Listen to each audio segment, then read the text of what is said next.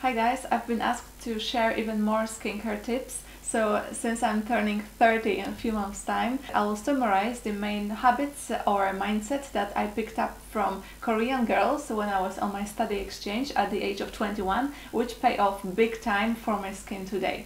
Let's start. Number one, skin first, makeup second. This trend is slowly reaching Europe, but about 10 years ago, when I first heard about it, it was a brand new thing to me. So, while in Europe it was all about hiding imperfections, having as full coverage foundation as possible, everything was supposed to be matte, in Asia was exactly opposite. At that time, the CC creams and DD creams were being introduced, which meant even less coverage than um, already very light covering BB creams. It meant your skin had to be very good in the first place in order for these light foundations to look okay at all. When I picked my first BB cream, it didn't look on me quite like it did on the girls, uh, and that's when I've been told about all the things that they do and it's very very different to what we did in Europe. This included double cleansing, multi-step skincare routine, masking with sheet masks, religiously using SPF, I started paying attention to things that I've never even thought about before, like having a dewy skin, like maintaining the face shape in a desired shape by face massage, like uh, adding the puffiness in some areas and reducing the volume of other areas on the face. Applying those learnings, I believe, pays off for me today and it made wearing a makeup an option rather than a necessity. Number two, anti aging doesn't mean anti wrinkle. In Europe, the word anti aging pretty much equals anti wrinkle. Whatever it is that has to do with age usually targets women over 30, while in Asia, those terms mean something very different, and I think it's a very smart clear division between these two. In Asia, anything that moisturizes the skin has vitamin C, collagen, snail mucus, even whitening products, even products with SPF, all of this can be thrown into anti-aging bucket. Anti-aging products can be found even for teenagers because it does what it's supposed to do, which is preventing the aging, preventing the changes from occurring, while anti-wrinkle products are for already existing damages. Wrinkles it's not just a change on top of your skin. They started long, long time ago by destruction of the structure within the skin, and that change could happen when you were 13, 14 years old, staying in the sun for too long. Once this happens, this is irreversible. That's why there is such a huge emphasis on anti-aging products. So about the age of 21, I've adopted anti-aging care for my skin, even though my friends back in Europe were rolling their eyes when they've heard that I'm using products with elastin and collagen and Q10 because it's just too early according to European standards. Anti-wrinkle products in Korea usually come in a shape of um, tubes that has a pointy end so you can apply it in the very specific areas that need this action because those products usually contain very strong uh, concentrated ingredients that help to properly plumb up the areas that are already damaged. Number three, dry doesn't always mean dehydrated skin. Someone might have an oily skin that's dehydrated or a dry skin that's properly hydrated. So I've learned that the moist level of the skin depends on how well it's hydrated from deep inside. Consistently keeping the moisture level high from within is the best anti-aging practice uh, and it definitely pays off in the long run. This concept I adopted straight away and since using it for the first time, I have been seeing a great results for the last uh, nine years. My favorite best way to achieve it is to use humectants straight out of the shower. I'm using a favorite Hada Labo that you're probably sick of hearing me mentioning because I talk about it in every video. Then uh, using an essence in between the moisturizers. This is something that's very hard to find in Europe, uh, so I definitely recommend to try out one of the Korean essences. And using a hydrating toner that doesn't contain alcohol. If that sounds too much, then as a minimum, I recommend to use at least one product with humectants in your skin diet. Number four, use moisturizing masks and use them often. When I was a teenager, the only masks I was aware of were the clay masks or any kind of drying uh, sebum reducing masks, while the mindset I needed to adopt from uh, Asia was to use very hydrating, very moisturizing masks.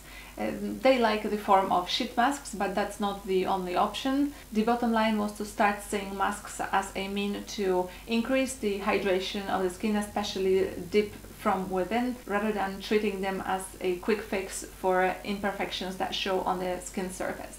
Today my favorite are actually Japanese masks called Lululun.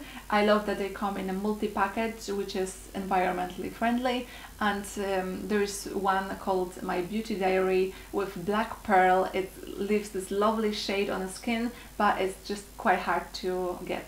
Number 5. Ditch the alcohol. So half of my teenage cupboard was filled with cosmetics with alcohol from you know, Clean and Clear, all of these harsh products that were supposed to bring my teenage skin back to balance. Uh, what I've learned in uh, Korea, alcohol is a big no-no in cosmetics because it's simply drying the skin. Instead of drying the life out of your pimples, they believe in moisturizing and bringing your skin back to its optimal level because your skin has natural ways to fight the bacteria and if it's kept in a balanced state then it will naturally protect against spots. If more than this is needed then in Korean cosmetics you can find the AHA and BHA acids, some tea tree oils or uh, fermented yeast is known for reducing inflammation as well. You might have seen before that I actually do keep one Clearasil uh, product. It's multi-action cleansing pads, but I only use them in extreme situations when I have a total rush all over my face. Number 6. Cute freckles? Not quite. I remember when I was a kid, everybody was admiring my freckles. When sun properly hits my face, I get them, um, you know, around the nose and here on the cheeks. One thing I needed to change my mindset of uh, when I met Korean girls was realizing that this isn't a cute thing. It actually is a sign of sun damage. We all know Asians are quite strict when using SPF, but that is not enough. I needed to learn how to remove the existing discolorations because age spots uh, happen when there is a buildup of um, untreated, unremoved, accumulated melanin in some spots on your face. So again, Korea comes with products and ingredients that help to keep melanin in the skin under control. And uh, one of my favorite ones include kojic acid, either cream or a soap. I have both of them, and you often ask whether I still use it. I do, I do, but uh, right now uh, it's a winter in Scotland, so I don't have any sun exposure, so I'm not using it right now, but generally I am using it. Other cosmetics can contain arbutin or even vitamin C. I recently picked up a serum from Klairs, which uh, surprised me in a really nice way because it helped to fade out some of the uh, like spot marks I've already had on the skin. Number seven, white is okay a big disclaimer this is not to glorify any color of the skin. I hope you know me enough to know that I'm not this kind of person who does that. This was a change of the mindset I needed to adopt because back in Europe, especially in my home country in Poland, having a tan is a thing. Um, and if you don't, you're pretty much being picked on that you look like a ghost. I needed to learn that health should come first, and going to sunbeds or staying long times in the sun is certainly not a good way to have a healthy skin. Thankfully, these days, this trend is changing in Europe, but a touch of tan is still desirable.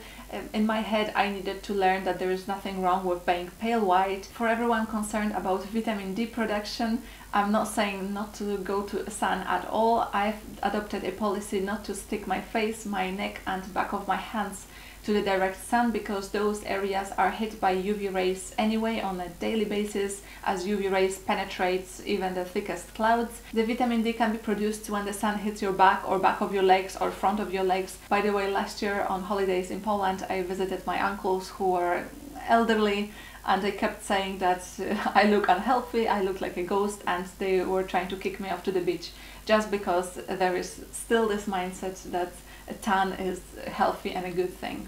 Number 8. Know your ingredients.